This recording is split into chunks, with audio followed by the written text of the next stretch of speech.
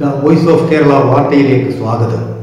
പശ്ചിമബംഗാൾ മുഖ്യമന്ത്രി തൃണമൂൽ കോൺഗ്രസിന്റെ സർസംഘചാലകും തീപ്പൊരിയുമായ മമതാ ബാനർജിയുടെ ദേശീയ മോഹം സഫലമാകുമോ മമതാ ബാനർജി പ്രാദേശിക പാർട്ടികളെ പിടിച്ചും കോൺഗ്രസിൽ നിന്ന് നേതാക്കളെ അടർത്തിയെടുത്തും തൃണമൂലിന്റെ പ്രവർത്തനം രാജ്യവ്യാപകമായി സംഘടിപ്പിക്കാൻ തീരുമാനിച്ച് രാജ്യ പര്യടനം നടത്തിക്കൊണ്ടിരിക്കുകയാണ്. മുഖ്യ എതിരാളിയാകാനിടയുള്ള കോൺഗ്രസിനെ അകറ്റി നിർത്താനാണ് മമതയുടെ തീരുമാനം.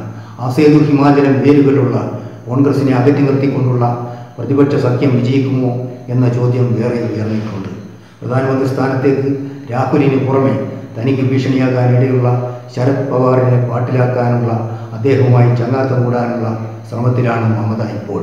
ത്രിപുരയിൽ ഒരു കൈ പരീക്ഷിച്ച് കൈ പൊള്ളിയിരിക്കുകയാണ് പശ്ചിമ ബംഗാളിലെ തീപുരി നേതാവിന്.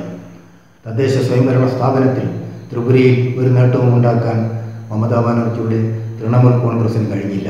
അടുത്ത നിയമസഭാ തെരഞ്ഞെടുപ്പിൽ നോക്കാമെന്നാണ് മമതയുടെയും തൃണമൂലിന്റെയും തീരുമാനം. ഗോവയിലേക്കും കണ്ണുകൾ വായിച്ചു കഴിഞ്ഞു. ഇനി കേരളത്തിലേക്കാണ് നോട്ടം.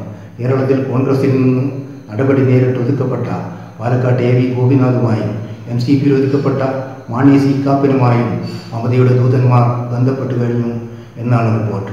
തലശ്ശേരി ഈയിടെ പുറത്താക്കപ്പെട്ട മമ്പരം ദിവാകരനിലും തൃണമൂൽ കോൺഗ്രസിന് നോട്ടമുണ്ട് എന്നാണ് വാർത്തകൾ. തെരഞ്ഞെടുപ്പ് തന്ത്രജ്ഞനായ പ്രശോന്ത് കിഷോറിനെയാണ് കേരളത്തിൽ പാർട്ടി ഉണ്ടാക്കാനുള്ള ചുമതല മമത ഏൽപ്പിച്ചിട്ടുള്ളത്. മമതയുടെ അനന്തരവൻ അഭിജിത്ത് ബാനർജിയാണ് അവരുടെ രാഷ്ട്രീയ പിൻഗാമി. ദില്ലിയിലെ മോഹം സഫലമാവുകയാണെങ്കിൽ പശ്ചിമ ബംഗാളിലെ ഭരണ ചുമതല അഭിജിത്ത് ബാനർജി ഏൽപ്പിക്കാനാണ് മമതയുടെ തീരുമാനം.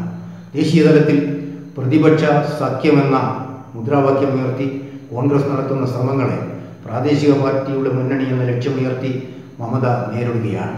കേരളത്തിൽ ഇന്ത്യയിൽ എല്ലായിടത്തും പേരുകളുള്ള പാർട്ടിയാണ് കോൺഗ്രസ്. തൃണമൂൽ അങ്ങനെയല്ല. കോൺഗ്രസിനെ ഒഴിവാക്കിക്കൊണ്ട് മമതാ ബാനർജിയുടെ പ്രധാനമന്ത്രി പദം സഫലമാകുമോ എന്നത് കണ്ടറിയേണ്ട കാര്യമാണ്. രാഹുൽ ഗാന്ധിയെയും പ്രിയങ്ക ഗാന്ധിയെയും സോണിയാഗാന്ധിയെയും അകറ്റി നിർത്തിക്കൊണ്ട് ബി ജെ പി വിരുദ്ധ സഖ്യം എന്ന മമതയുടെ സ്വപ്നം നടക്കാൻ പോകുന്നില്ല എന്നാണ് നിരീക്ഷക മതം ഇതേ ചൊല്ലി ദേശീയ പ്രതിപക്ഷ നേതൃനിരയിൽ ഇപ്പോഴേ അഭിപ്രായ ഭിന്നതകൾ ഉരുണ്ടുകൂടി തുടങ്ങി. ലാലു പ്രസാദ് യാദവ് കോൺഗ്രസിന് അനുകൂലമായി നിലപാടെടുത്തു കഴിഞ്ഞു. ശിവസേനയും അതിന്റെ മുഖപത്രം സാമ്നയും കോൺഗ്രസിനെ ഒഴിവാക്കിക്കൊണ്ടുള്ള പ്രതിപക്ഷ സഖ്യം ബി ജെ പി വിരുദ്ധ സഖ്യം ക്ലച്ച് പിടിക്കുകയില്ല എന്ന് അഭിപ്രായപ്പെട്ടു കഴിഞ്ഞു. മമതയുടെ പുതിയ നീക്കം ദേശീയ തലത്തിൽ ബി ജെ പി വിരുദ്ധരായിട്ടുള്ള പ്രതിപക്ഷ നേതാക്കളെ ആശയക്കുഴപ്പത്തിലാക്കിയിരിക്കുകയാണ്. ബി ജെ പി വിരുദ്ധ സഖ്യത്തെ തുരങ്കം വെക്കുകയാണ് യഥാർത്ഥത്തിൽ മമതാ ബാനർജി ചെയ്യുന്നത് എന്ന വിമർശനവും ഉയർന്നു കഴിഞ്ഞു